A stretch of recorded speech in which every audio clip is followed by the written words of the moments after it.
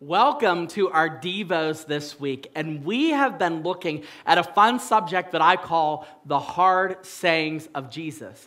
What is a hard saying? Well, it's a quote that's taken directly from Jesus. That if you were listening in context and you were there and you heard that, you would say, I cannot believe that he said that. I, uh, I'm, not, I'm done. And you would just walk out. You would throw your uh, pop that you bought at the concession stand, because you definitely would buy a pop if you would go listen to Jesus. Throw it on the ground, and you'd walk out and say, There's no chance that he said that. But I'm here to tell you that he did. And these statements are super, super challenging. And they're challenging even to us. Like today, one of the biggest statements that a lot of us are okay when we talk about it in terms of how do I say this? In terms of things that we really don't actually have to do. But once we get our faith and the rubber meets the road, it becomes a little more difficult because today, Jesus tells us to deny ourself. Deny yourself. Now, why is this a challenging statement? Well, let's take a look at it first and see. Jesus told his disciples, If anyone would come after me, let him first deny himself, take up his cross, and follow me. So here's a couple things that make this statement kind of crazy, okay? The first thing he says is you have to deny yourself. What's that mean? That means that you have to first be willing to say, all of the desires I have on earth, everything that I have going on in my life, everything that is important to me, I am willing to let that all go in a moment's notice. Now, we had a couple sermons uh, back to back that talked about this. I talked about this with Abram when Abram was called by God to leave his uh, country and go to a land that God had promised him. Now, what happens?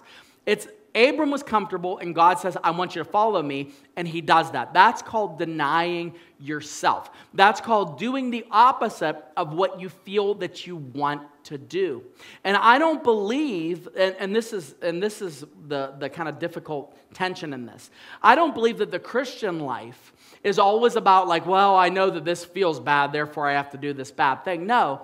But what I believe is that following God and when you're following God and when you're denying yourself and you know that you're listening to his voice, it is so much more rewarding knowing that you're following him than it is to sit and remain in your own comfort.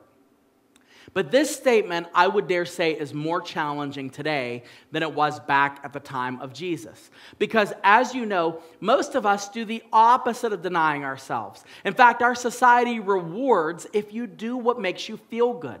When it comes to everything, when it comes to how you worship God, when it comes to how you have relationships, when it comes to how you spend your money, everything comes down to well, how do you feel about it? Well, as long as you're happy, as long as you feel good, as long as you know that you did the best you can, you squeezed the most out of life that you could, as long as you did that, then you're honoring God. But according to this passage, nothing could be further from the truth. You see, Jesus first tells us you have to take all your desires and you have to table them. And you have to follow me, and what's going to happen, according to Psalm 37, verse 4, if you delight in Jesus, you will have new desires. So, therefore, you might have these things that you gratify your flesh with. But I promise you, if you've never tried this, Christian, I promise you, nothing is more rewarding than knowing you are following after God and serving Him and honoring Him. There isn't anything.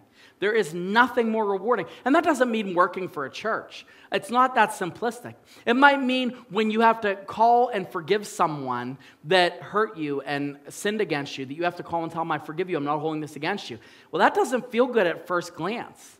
But when you realize that you're honoring the God that called you, and that you're taking your desires and shifting them to the side, and instead moving forward and allowing God to use you and glorify His name, I don't think there's anything more valuable on this earth. But there's some other challenging parts of the statement. He says, deny himself, come after him, so daily following him, that's challenging too, and then take up your cross. Well, you know what Jesus had to do to take up the cross. It was painful, it was uncomfortable, it was awkward.